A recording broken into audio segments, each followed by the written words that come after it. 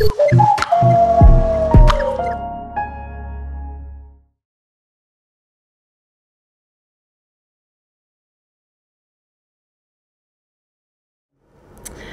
suis Mélinée Casparian-Lefebvre, agrégée d'anglais et doctorante en littérature américaine au sein du laboratoire climat.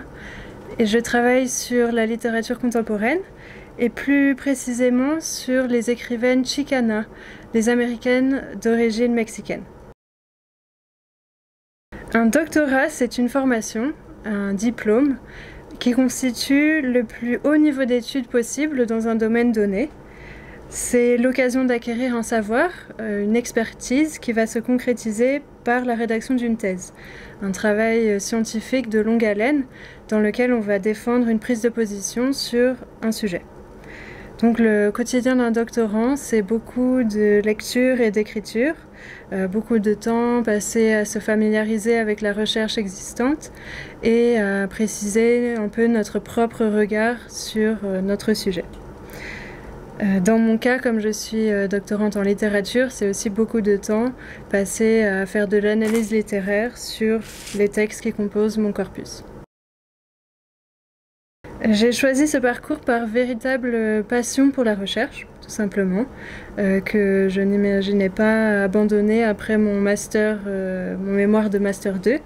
en effet, ce mémoire consacré à l'écrivaine Pat Mora m'a donné envie de la comparer avec d'autres écrivaines chicanas et d'explorer cette culture plus largement. Euh, j'envisageais donc le doctorat comme un moment rêvé pour mener cette étude à bien et pour passer du temps avec ces écrivaines qui me passionnent. J'ai obtenu un contrat doctoral qui finance mes recherches. Euh, c'est un privilège euh, qui me permettrait de me consacrer exclusivement à la recherche, mais j'ai quand même choisi d'enseigner en parallèle parce que c'est une activité qui me tient à cœur. Le doctorat me permet de m'initier au quotidien des enseignants-chercheurs, euh, en apprenant à concilier recherche et enseignement, euh, en participant à des colloques, en rédigeant des articles, en organisant des manifestations scientifiques. Cette initiation et cet apprentissage, ils ne se font pas que euh, dans la solitude, mais aussi avec l'appui des enseignants-chercheurs de ma discipline. Et j'espère avoir euh, à mon tour l'occasion de participer à cette transmission du savoir et de la recherche.